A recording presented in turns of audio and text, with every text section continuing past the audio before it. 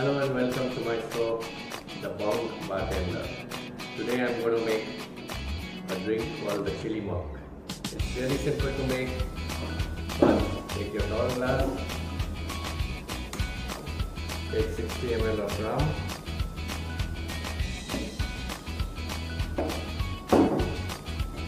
take some lime wedges, some ice,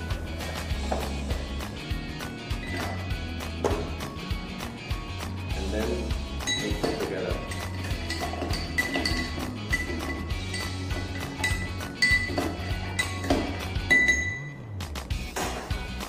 Take some rock salt on a plate, take a lime wedge,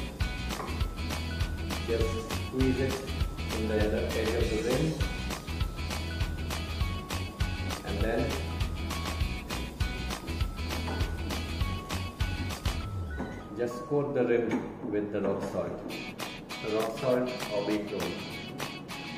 Thereafter, pour the lime inside.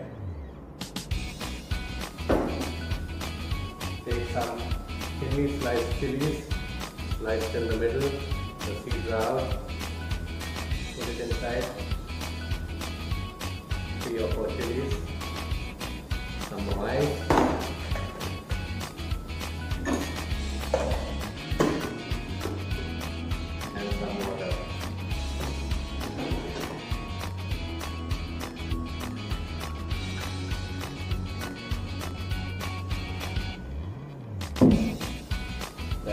just give it a bit of a stir.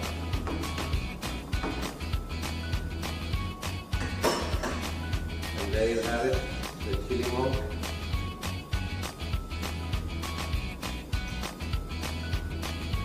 the rock salt along with some chilies and lime. I use Gondhoraj lime. It tastes amazing. Cheers and enjoy.